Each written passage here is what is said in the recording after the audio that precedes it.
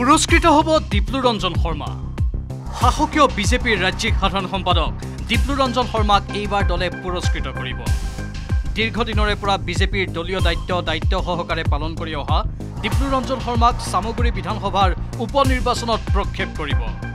ইয়াৰ উপৰি দীপ্লু ৰঞ্জন শৰ্মাক দিয়া হ'ব মুখ্যমন্ত্ৰীৰ ৰাজনৈতিক সচিব পদ। সোমবাৰে কইনাধৰাত অনুষ্ঠিত হোৱা ৰাজ্যিক বিজেপিৰ নিৰ্বাচন কমিটিৰ বৈঠকৰ পিছতে চামগুৰিৰ উপ নিৰ্বাচনৰ ক্ষেত্ৰত দলে লোৱা সিদ্ধান্তৰ বিষয়ে অৱগত কৰে সভাপতি ভৱেশ কলিতাই। দীপ্লু ৰঞ্জন শৰ্মা হ'ব চামগুৰিত বিজেপিৰ প্ৰাৰ্থী। বিপুল ৰঞ্জন শৰ্মা ডাঙৰীয়া তেওঁ প্ৰাৰ্থী হ'ব। তেওঁ চামগুৰি সমষ্টিৰ পৰা এতিয়া আমি হেৰি কৰা নাই তথাপিও তেওঁ এপ্লিকেণ্ট হৈছে। চামগুৰি সমষ্টিৰ উপ নিৰ্বাচনৰ কাৰণে তেখেতে প্ৰাৰ্থীত্ব আগবঢ়াব। চামগুৰি বিধানসভা সমষ্টিৰ জনগাঁথনিৰ দিশৰ পৰা পৰ্যালোচনা কৰিলে সমষ্টিটো কংগ্ৰেছৰ বাবে সহজ যদিও দীপ্লু ৰঞ্জন শৰ্মাৰ জনসম্পৰ্কই বিজেপিক সহায় কৰিব। কিয়নো দুই হেজাৰ তেৰ চনৰে পৰা চামগুৰি পুৰণি গুদাম আমনি লাওখোলা আমবাগান আদি বিস্তৃত অঞ্চলত ৰাষ্ট্ৰীয় স্বয়ংসেৱক সংঘৰ হৈ কাম কৰি আহিছিল দীপ্লু ৰঞ্জনে। লগতে দুই হেজাৰ পোন্ধৰৰ পোন্ধৰ নৱেম্বৰত চামগুৰিৰ ভেলৌগুৰিত দীপ্লু ৰঞ্জন শৰ্মাই আয়োজন কৰিছিল। বিজেপিৰ এক বিশাল গণসমাৱেশ যি গণসমাৱেশত অংশগ্ৰহণ কৰিছিল সৰ্বানন্দ সোণোৱাল আৰু হিমন্ত বিশ্ব শৰ্মাই। দুই হেজাৰ পোন্ধৰ চনৰ পৰা ৰাজ্যিক বিজেপিৰ যুৱ মৰ্চাৰ সভাপতিৰ দায়িত্বত থকা দীপ্লু ৰঞ্জনক পৰৱৰ্তী কালত দলে ৰাজ্যিক বিজেপিৰ সাধাৰণ সম্পাদকৰ দায়িত্ব দিয়ে। এইজন দীপ্লু ৰঞ্জন শৰ্মাক বিজেপিয়ে এইবাৰ চামগুৰিৰ উপ নিৰ্বাচনত টিকট দিবলৈ আগবাঢ়িছে। ফলত দীপ্লু ৰঞ্জন শৰ্মাই কংগ্ৰেছৰ প্ৰাৰ্থী তথা সাংসদ ৰকিবুল হুছেইনৰ পুত্ৰ এইজন তানজিল হুছেইনৰ বিৰুদ্ধে ভোট যুদ্ধত অৱতীৰ্ণ হ'ব।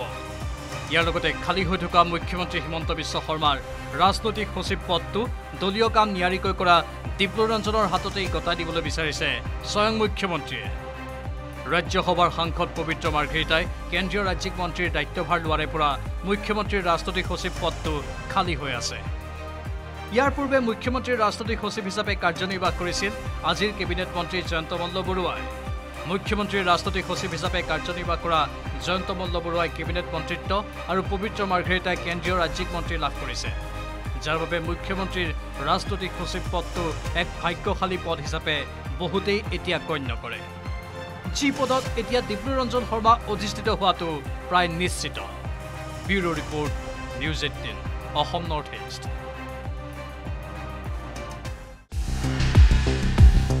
পুৰস্কৃত হ'ব দীপ্লু ৰঞ্জন শৰ্মা। শাসকীয় বিজেপিৰ ৰাজ্যিক সাধাৰণ সম্পাদক দীপ্লু ৰঞ্জন শৰ্মাক এইবাৰ দলে পুৰস্কৃত কৰিব। দীৰ্ঘদিনৰে পৰা বিজেপিৰ দলীয় দায়িত্ব দায়িত্ব সহকাৰে পালন কৰি অহা দীপ্লু ৰঞ্জন শৰ্মাক চামগুৰি বিধানসভাৰ উপ নিৰ্বাচনত প্ৰক্ষেপ কৰিব। ইয়াৰ উপৰি দীপ্লু ৰঞ্জন শৰ্মাক দিয়া হ'ব মুখ্যমন্ত্ৰীৰ ৰাজনৈতিক সচিব পদ।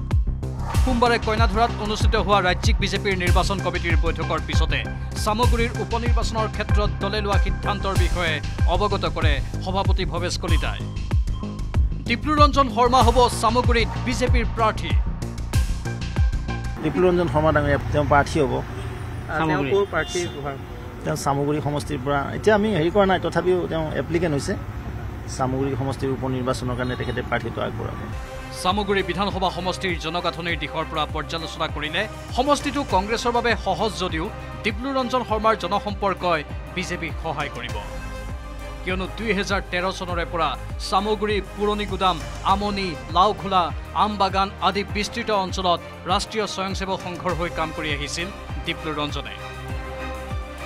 লগতে দুই হেজাৰ পোন্ধৰৰ পোন্ধৰ নৱেম্বৰত চামগুৰিৰ ভেলৌগুৰিত দীপ্লু ৰঞ্জন শৰ্মাই আয়োজন কৰিছিল। বিজেপিৰ এক বিশাল গণসমাৱেশ। যি গণসমাৱেশত অংশগ্ৰহণ কৰিছিল সৰ্বানন্দ সোণোৱাল আৰু হিমন্ত বিশ্ব শৰ্মাই। দুই হেজাৰ পোন্ধৰ চনৰ পৰা ৰাজ্যিক বিজেপিৰ যুৱ মৰ্চাৰ সভাপতিৰ দায়িত্বত থকা দীপ্লু ৰঞ্জনক পৰৱৰ্তী কালত দলে ৰাজ্যিক বিজেপিৰ সাধাৰণ সম্পাদকৰ দায়িত্ব দিয়ে। এইজন দীপ্লু ৰঞ্জন শৰ্মাক বিজেপিয়ে এইবাৰ চামগুৰিৰ উপ নিৰ্বাচনত টিকট দিবলৈ আগবাঢ়িছে। ফলত দীপ্লু ৰঞ্জন শৰ্মাই কংগ্ৰেছৰ প্ৰাৰ্থী তথা সাংসদ ৰকিবুল হুছেইনৰ পুত্ৰ এইজন তানজিল হুছেইনৰ বিৰুদ্ধে ভোট যুদ্ধত অৱতীৰ্ণ হ'ব। ইয়াৰ লগতে খালী হৈ থকা মুখ্যমন্ত্ৰী হিমন্ত বিশ্ব শৰ্মাৰ ৰাজনৈতিক সচিব পদটো দলীয় কাম নিয়াৰিকৈ কৰা দীপ্লু ৰঞ্জনৰ হাততেই গতাই দিবলৈ বিচাৰিছে স্বয়ং মুখ্যমন্ত্ৰীয়ে।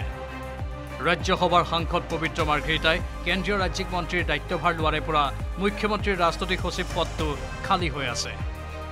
ইয়াৰ পূৰ্বে মুখ্যমন্ত্ৰীৰ ৰাজনৈতিক সচিব হিচাপে কাৰ্যনিৰ্বাহ কৰিছিল। আজিৰ কেবিনেট মন্ত্ৰী জয়ন্ত মল্ল বৰুৱাই। মুখ্যমন্ত্ৰীৰ ৰাজনৈতিক সচিব হিচাপে কাৰ্যনিৰ্বাহ কৰা জয়ন্ত মল্ল বৰুৱাই কেবিনেট মন্ত্ৰিত্ব আৰু পবিত্ৰ মাৰ্ঘেৰিটাই কেন্দ্ৰীয় ৰাজ্যিক মন্ত্ৰী লাভ কৰিছে। যাৰ বাবে মুখ্যমন্ত্ৰীৰ ৰাজনৈতিক সচিব পদটো এক ভাগ্যশালী পদ হিচাপে বহুতেই এতিয়া গণ্য কৰে। যি পদত এতিয়া ডিব্ৰুৰঞ্জন শৰ্মা অধিষ্ঠিত হোৱাটো প্ৰায় নিশ্চিত। Bureau' report news eighteen Assam north east.